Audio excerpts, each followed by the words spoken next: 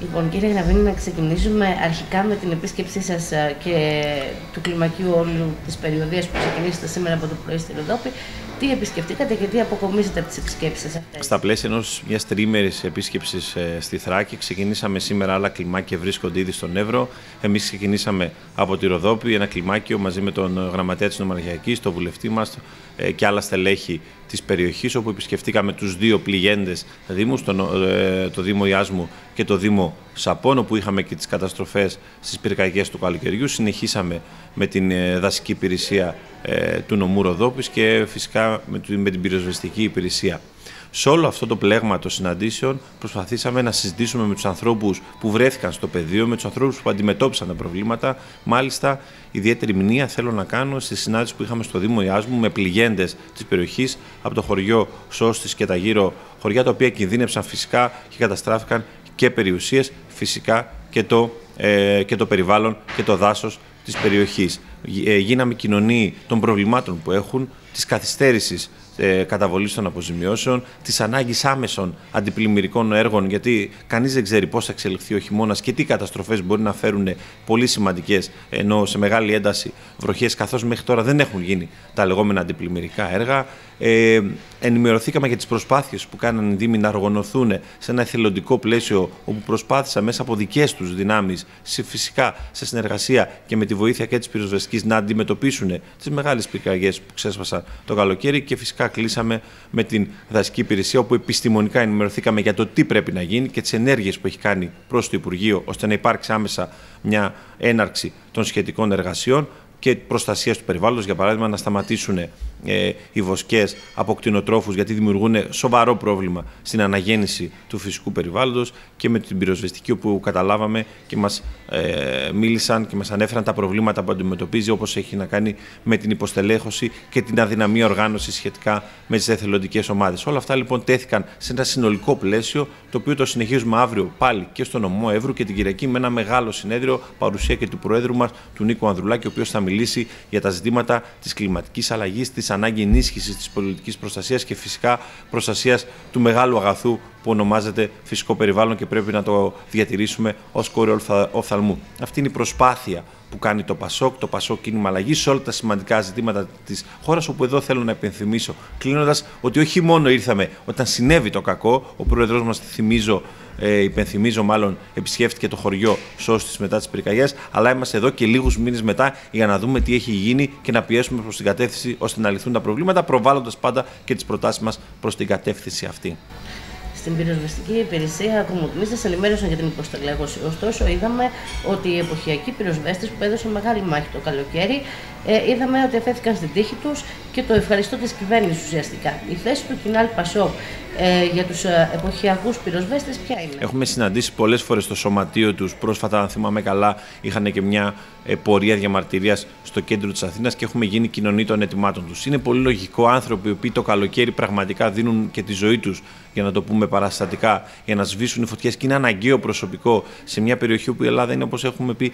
σε μια διακυκαυμένη ζώνη στη Μεσόγειο, που τα, τα, τα, οι επιπτώσεις της κλιματικής κρίσης θα είναι έντονες και είναι πολύ πιθανό και το ξέρουμε ότι και το καλοκαίρι θα έχουμε δυστυχώς και πάλι πικραγιέ. Εκεί είναι άνθρωποι οι οποίοι είναι αναγκαίοι για την αντιμετώπιση του προβλήματος. Εδώ λοιπόν πρέπει η ελληνική κοινωνία, αυτούς να μην τους, η ελληνική πολιτεία, συγγνώμη, να μην τους αντιμετωπίζει ευκαιριακά για λίγους μήνες και στη συνέχεια να τους αφήνει. Εδώ λοιπόν πράγματι πρέπει να, να ρίξουμε το βάρος, να βρουν αυτοί οι άνθρωποι οι οποίοι είναι χρήσιμοι όχι μόνο κατά τους καλοκαιρινούς μήνες όταν σβήνουν και τις φωτιές, αλλά είναι χρήσιμοι και στην πρόληψη. Γιατί ένα μάθημα που πήραμε το καλοκαίρι και είναι ένα διαχρονικό μάθημα αυτό, ότι οι φωτιές δεν σβήνονται το καλοκαίρι. Οι φωτιές σβήνονται το χειμώνα, όπως λένε οι ειδικοί οι ειδικοί, ενώ τόσο επιστήμονες όσο και οι ειδικοί του πεδίου πυροσβέστε. Άρα λοιπόν χρειάζεται μια πολύ καλή προετοιμασία αυτούς τους μήνες τώρα, τον Νοέμβριο, τον Δεκέμβριο, τον Ιανουάριο, τον Φεβρουάριο, το Φεβρουάριο, ώστε να καθαριστεί η καύση μήλη, να γίνουν όλες οι απαραίτητες προεργασίες, ώστε το καλοκαίρι να είμαστε όλο και πιο έτοιμοι στην αντιμετώπιση των πυρκαγιών που πράγματι θα γίνουν. Αν αυτό το συνυπολογίζουμε με την προσπάθεια καταπολέμησης τη κλιματικής κρίσης, μείωσης των εκπομπών διοξιδίου του άνθρακα, άρα περιορισμό των επιπτώσεων σιγά σιγά της κλιματικής κρίσης και των πιο ακραίων καιρικών συνθηκών που αυτή επικρατεί. Νομίζω είναι αναγκαίη η παρουσία των εποχιακών και το έχουμε καταθέσει και με προτάσεις μας ε, στο πλαίσιο του κοινοβουλευτικού ελέγχου, δηλαδή με ερωτήσεις προς την κυβέρνηση, αλλά και με ε, προτάσεις νόμου, ώστε αυτοί οι άνθρωποι πραγματικά να λάβουν την, ε, την αναγνώριση που τους αξίζει και πιο μόνιμες θέσεις εργασίας.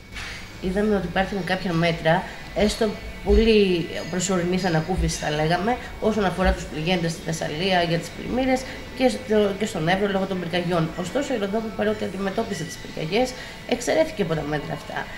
Εσείς θα πιέσετε προς αυτή την κατεύθυνση ώστε να αποκατασταθεί αυτή η αδικία; Ήταν μια μεγάλη αδικία την οποία την αντιμετωπίσαμε σε άμεσο χρόνο και ο βουλευτής μας εδώ της περιοχής περιφερειακής, ε, της εκλογικής περιφέρειας Ροδόπη, ο Αχμέτη Χλχάν, ε, έδρασε άμεσα, παρενέβη με σχετική ερώτηση και όπως φαίνεται το πρόβλημα θα λυθεί και ήταν μια μεγάλη αδικία να εξαιρεθούν αποκλειστικά ε, οι κτηνοτρόφοι της Ροδόπης από τις, σχετικές, από τις σχετικές αποζημιώσεις. Νομίζω ότι και σε ανάλογα ζητήματα το Πασόκ θα παρεμβαίνει πάντα με τα στελέχη του, με τους βουλευτές του, σε τιμότητα εγώ θα πω, με άμεσα αντανακλαστικά, ώστε να διορθώνει τα προβλήματα και να, και, να προσπαθεί, γιατί αυτός είναι ο μεγάλος στόχος, ε, την επιβολή ή τέλος πάντων την επικράτηση του δικαίου θα θέλαμε να μάθουμε και τις απόψεις του Πασόκ Κινάλ πάνω στο φορολογικό, μιας και είναι κάτι που απασχολεί έντονα την τοπική κοινωνία ε, και όχι μόνο την τοπική κοινωνία, όλη την Ελλάδα και όλους τους ελεύθερους επαγγελματίες. Όπως ξέρετε, οι ελεύθεροι επαγγελματίες, οι ατομικές επιχειρήσεις στην Ελλάδα είναι χιλιάδες. Και ενώ η κυβέρνηση προεκλογικά μιλούσε μόνο για μείωση φόρων, έρχεται μετεκλογικά παραπλανώντας τους πολίτες, ε, ξεγελώντας τους με λίγα λόγια και, προσπα... Ε, και έρχεται να επιβάλλει έναν άδικο, οριζόντιο, όπως λέμε,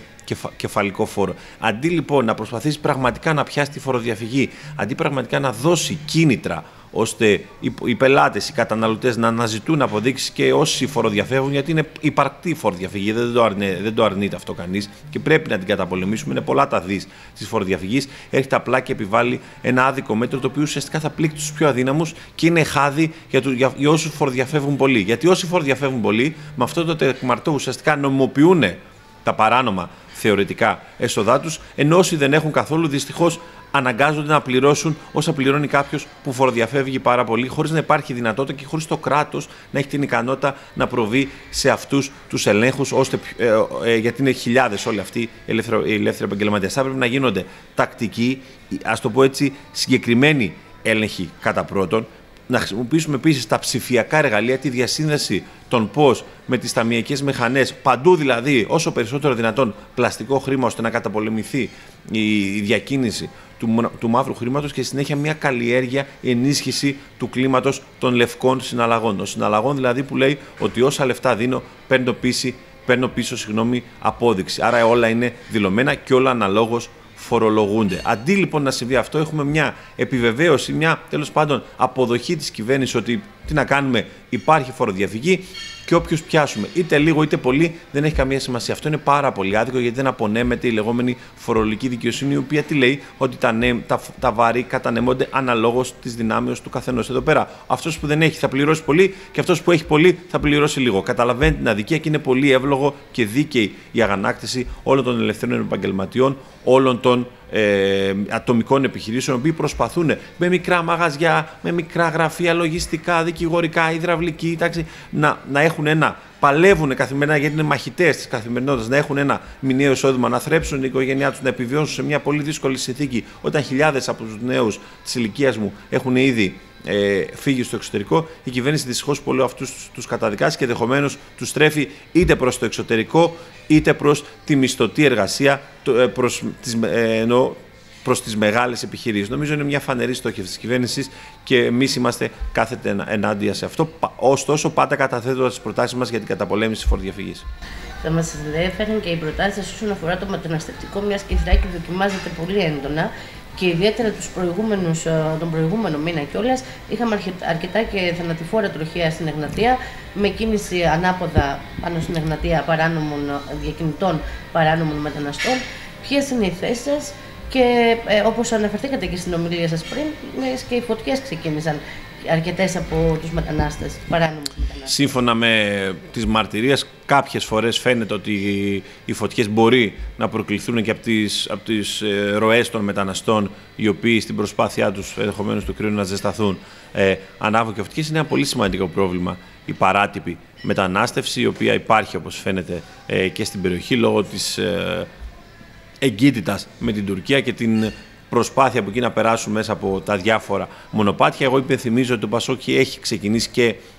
την κατασκευή του λεγόμενου φράχτη στον Εύρο, τον οποίο πιστεύουμε ότι είναι ένα χρήσιμο μέτρο το οποίο πρέπει να γίνει για να, για να φρουρούμε ε, τα σύνορά μας, όπως τόσο στον Εύρο, όπως φυσικά και τα θαλάσσια σύνορά μας, ε, στο Ανατολικό Μεσόγειο. Πρέπει να δοθεί ιδιαίτερη βάση και, να, και νομίζω έχουμε κάνει βήματα πρόοδου σε αυτό, ώστε να ενισχυθούν οι υπηρεσίες φύλαξη, να υπάρχουν διαδικασίες ελέγχου διαρκής και επαγρύπνηση της ελληνικής πολιτείας απέναντι στα φαινόμενα της παράτυπης μετανάστευσης. Αυτό φυσικά πρέπει να γίνεται με προσήλωση και αφοσίωση και σεβασμό στο διεθνές δίκαιο, στην αξία του ανθρώπου, στην ανάγκη πολλών από αυτών οι οποίοι είναι κατετρεγμένοι και ενδεχομένως είναι και ετούντες άσυλο, ενώ πραγματικά ε, επιζητούν το άσυλο και όπως ξέρετε, το άσυλο είναι μια πολύ από τα αρχαία χρόνια μια μορφή προστασίας, την οποία πρέπει να τη σεβαστούμε και τώρα, αλλά αυτό δεν σημαίνει ότι η ελληνική πολιτεία θα λειτουργήσει ως ξέφραγο αμπέλ. Το αντίθετο, θα λειτουργήσει συντεταγμένα, με όρους, με προστασία φυσικά των συνόρων της, αλλά και με σεβασμό στους ανθρώπους, ε, στις αρχές, ας το πούμε έτσι, της, του ανθρωπισμού. Όλα αυτά μπορούν να γίνουν, μπορούν να συγκεραστούν αυτές οι δύο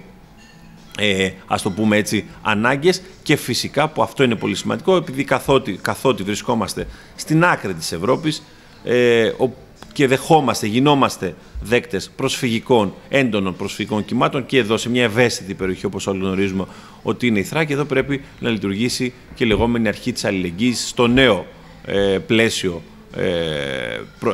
στο νέο πλαίσιο ε, μεταναστευτικής πολιτικής της Ευρωπαϊκής Ένωσης, το λεγόμενο Δουβλίνο, το οποίο φαίνεται οδεύει προς την αναθεωρησή του, που πρέπει εκεί η Ελλάδα να επιζητήσει και να πετύχει να μην είναι απλά μια χώρα υποδοχής, αλλά και να μένουν εδώ στη συνέχεια οι μετανάστες, αλλά να δούμε πώς αυτή η διανομή θα γίνει με αναλογικό τρόπο και με βάση αρχές αλληλεγγύης. Όπως προανέφερα, θα αναλάβουν και οι υπόλοιπες χώρες το σχετικό βάρος και δεν θα το αναλάβουν μόνο οι χώρες που βρίσκονται εγκύτερα ε, στις χώρες της Αφρικής και της Ασίας, όπως είναι για παράδειγμα προφανώς οι μεσογειακές χώρες, δηλαδή η Ελλάδα, η Ιταλία, η Ισπανία κτλ. Εδώ χρειάζεται μια πραγματική προσπάθεια και θεωρώ ότι συνολικά μπορούμε τα ελληνικά κόμματα να συμφωνήσουμε και να πετύχουμε ένα καλό ε, για τα συμφέροντα της χώρας ε, μετανα, πλαίσιο μεταναστευτικής πολιτικής στην Ευρωπαϊκή Ένωση. Είναι δύο δηλαδή, τόσο η μάχη εντός για να προστατεύουμε τα σύνορά μας από, τους, από οποιουσδήποτε που μπορεί να έχουν κακές διαθέσεις και δεν είναι λίγοι. Έχει αποδειχτεί άλλωστε από τα σύνορά μας περάσανε και άνθρωποι που δεν είχαν και τις πιο φιλικές διαθέσεις προς τη χώρα, αλλά και σε ευρωπαϊκό πλαίσιο να επιτύχει με τον καλύτερο συμβιβασμό στη χώρα να έχει και η χώρα να, να μην είναι απλά δέκτης του βάρους, αλλά και φυσικά αυτό να μετριάζεται με την κατάτμιση του, με τη διανομή του και στις υπόλοιπες χώρες. Ε, Λαμβάνοντας, θέλω να κλείσω εδώ, υπόψη ότι και η χώρα και η Ευρώπη έχουν ανάγκη από εργατικά χέρια και πρέπει να βρούμε αυτή τη μέση οδό με βάση αρχή της αναλογικότητας, ώστε και τα κύματα μεταναστευτικής πολιτικής που πάντα θα υπάρχουν, πως μια ήπειρο όπως είναι η Ευρώπη, η οποία είναι, ας το πούμε έτσι, ε, ε, καλός, θετικός προορισμός και, ε, αν όχι ο ιδανικός, και πολλούς από, από δοκιμαζόμενους ανθρώπους σε όλο, σε όλο τον κόσμο, ώστε να υπάρξει, ας το πούμε έτσι, η κατάλληλη δοσολογία για να μην έχουμε προβλήματα που δυστυχώς πολλές φορές, και θέλω να το τονίσω αυτό, οδηγούν σε ακραίες πολιτικές συμπεριφορές. Κύριε Λαβίνο, κλείνοντας, θα ήθελα να μας πείτε για το συνέδριο που θα λάβει χώρα την Κυριακή στην Αλεξανδρούπολη με την παρουσία του Προέδρου του κ. Ανδουλάκη και να καλέσουμε τον κόσμο σε αυτό να παραβρεθεί. Ο πρόεδρος του Πασούκη είχε έρθει, υπενθυμίζω, και στο ΣΟΣ της Πυρκαγιάς και την Κυριακή θα μιλήσει στο ξενοδοχείο ε, Γκρεκοτέλ ε, στην Αλεξανδρούπολη μετά τις 11 η ώρα για τα ζητήματα της πολιτικής προστασίας, της προστασίας του φυσικού περιβάλλοντος, της επιπτώσεις της κλιματικής κρίσης, ένα συνολικό πλαίσιο το οποίο το χρειάζεται η χώρα άμεσα γιατί αντιμετωπίζει πολλά προβλήματα σε σχέση με την κλιματική κρίση. Καλούμε όλο τον κόσμο ο οποίος θέλει να ενδιαφερθεί, θέλει, ενδιαφέρεται, θέλει να ενημερωθεί, θέλει να ακούσει τις προτάσεις του Πασόκ. Επιζητούμε να ανοίξουμε την αγκαλιά μας σε όλο και περισσότερους πολίτες να ακούσουν τις προτάσεις μας και γι' αυτό κάνουμε, απευθύνουμε και αυτό το κάλεσμα προς όλους τους πολίτες της Θράκης, ώστε να παρευρεθούν στην ομιλία του Προέδρου την Κυριακή μετά τις 11 η ώρα στο ξενοδοχείο Γκρεκοτέλη στην Αλεξάνδρουπολη. Σας ευχαριστούμε πολύ, κύριε Χλέφαντη. Να είστε καλά, ευχαριστώ πολύ για τη φιλοξενία.